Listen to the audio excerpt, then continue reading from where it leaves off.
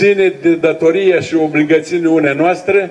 să transmitem viitoarelor generații, să transformăm acest râu dintr-o gunoiște a Chișineului, să-l transformăm într-o zonă de odihnă, să transformăm într-o